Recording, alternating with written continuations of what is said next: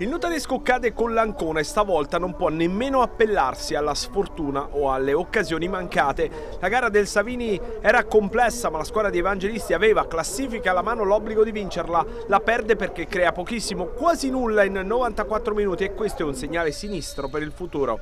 I dorici dal canto loro segnano e amministrano senza troppi patemi e adesso, strano campionato, sono a meno 2 dal gruppone a quota 24. L'innesto dal primo minuto di Infantino sembra dare discreti frutti all'inizio perché la punizione di Arrigoni trova il nuovo arrivato sul palo lontano, ma Bellucci controlla. Amadori in profondità al minuto 19 chiama l'Oliva all'intervento sul diagonale magari non potente ma angolato. L'opportunità clamorosa i paroli di casa se la ritrovano sui piedi due minuti più tardi.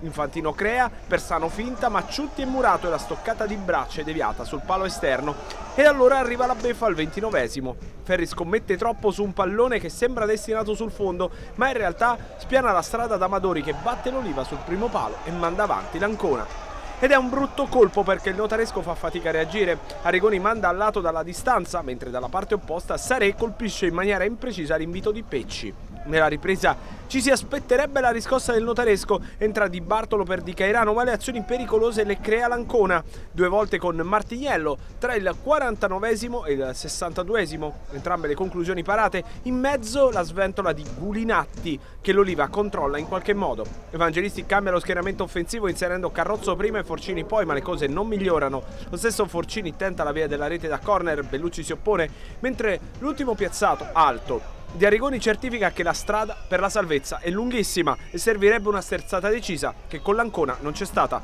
Gli ultimi tre impegni del girone d'andata per il notaresco saranno complicatissimi.